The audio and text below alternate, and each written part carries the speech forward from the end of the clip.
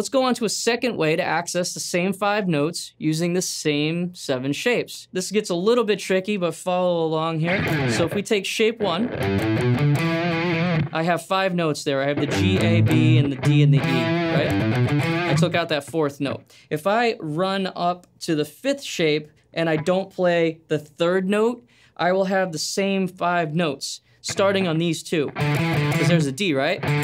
So what I did was sort of flip the strings. I played the last two notes first and the uh, three notes last, and that lands in shape five with no third note.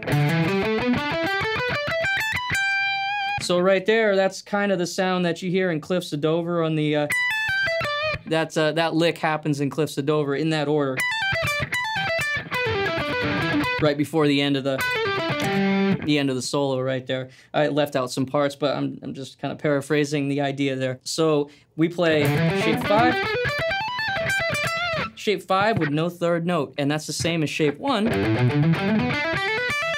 with no fourth note. So each one will have kind of a relative scale. So that's a good reason to practice one and five as one of your shape patterns, you know, so even if you do all the notes. And then do uh, one with no four, and five with no three. And again, all you did was reverse which strings you put the two notes on. So you start with the two and end with the three. See, that's the same two notes? And then that's an octave higher. So let's do that with all of them. Let's take shape two, and that's gonna correspond to shape number six. So two without the fourth. And then six without the third.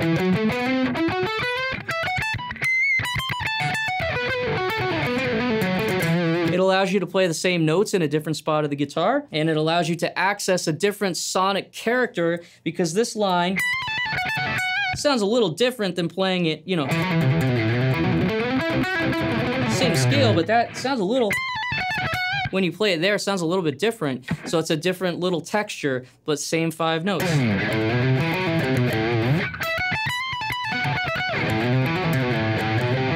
So shape two without the fourth, shape six without the third. And then the next one will be shape three without the fourth. And that will be like shape seven without the third.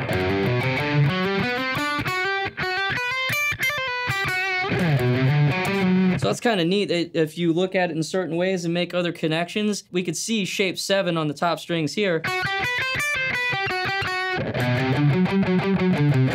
So I switched lanes from lane 1 to lane 3, or low lane to high lane, identifying that I had a shape 3 here and a shape 7 there, and played the same scale, because I know they're related one without the, the fourth note and one without the third note, and I get the same five notes. And then you move up to the fourth shape, and that would be like playing, so the end of that one's like G to A, right? So that's shape one.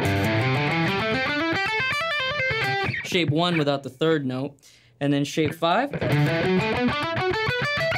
is like shape two without the third note.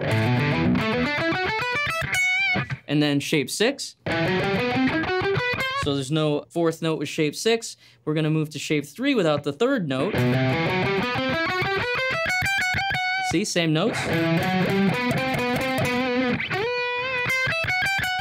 There's shape three on the top and shape six on the bottom. Then the last one, shape seven, with no fourth, is shape four with no third.